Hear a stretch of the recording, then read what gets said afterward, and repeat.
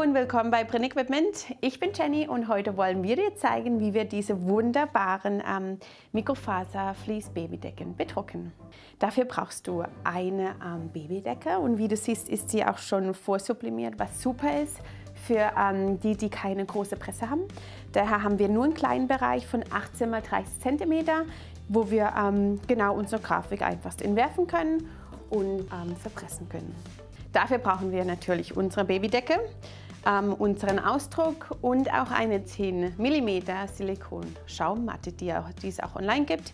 Die können wir dann einfach zuschneiden ähm, auf die Größe des, der weißen Fläche, weil der Rest äh, darf nicht auf die Hitzeplatten oder darf die Hitzeplatten nicht berühren, weil es sonst resublimieren könnte. So, daher die Silikonschaummatte. So, mein erster Schritt ist, ähm, nachdem ich etwas Schutzpapier auf meine Presse lege, dass ich meine Fließdecke etwas entfussle. Weil wenn ich die nicht entfussle, könnte es nachher sein, dass es einige Verfärbungen in meiner Grafik oder in meiner Schrift gibt. Das wäre etwas unschön. So, dann nehme ich meine Fließdecke und meine Silikonschamatte, lege solche ins äh, Zentrum meiner Presse, meine Fließdecke darauf und hier bitte nochmals äh, sicher gehen, dass keine Farbe ähm, absteht. Erster Schritt ist jetzt, oder zweiter Schritt sollte ich sagen, das ähm, Vorpressen meiner Decke für ungefähr 10 Sekunden, damit jegliche Restfeuchtigkeit aus meiner Fließdecke entweicht. So, das war's auch schon, kurz und knackig. Ein Schutzpapier. Und das lagert sich jetzt gerade kurz liegen. Meinen Ausdruck den könnt ihr jetzt entweder ähm, genau einfach im Großformat drauflegen und dann festmachen. Wir können natürlich auch zuschneiden.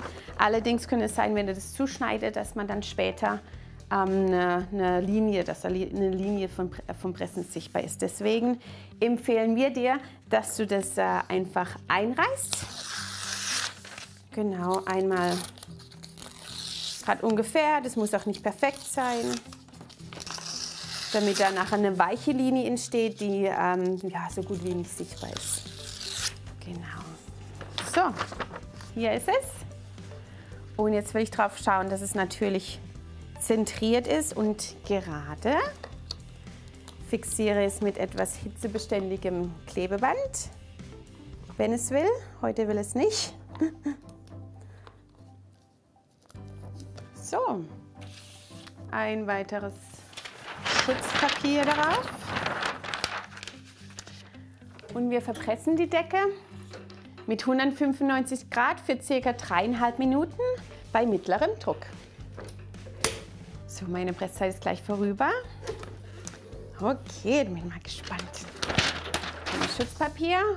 Und äh, ich möchte auch meinen Ausdruck gleich entfernen, damit keine Farbe zurück auf, mein, ähm, auf meine Babydecke zurücksublimiert und es sieht klasse aus. Ja, für weitere Produkte oder jegliche Fragen, die ihr habt, äh, besucht uns gerne auf printequipment.de. Und äh, mit dieser Decke wünschen wir dir viel Erfolg und äh, Happy Printing!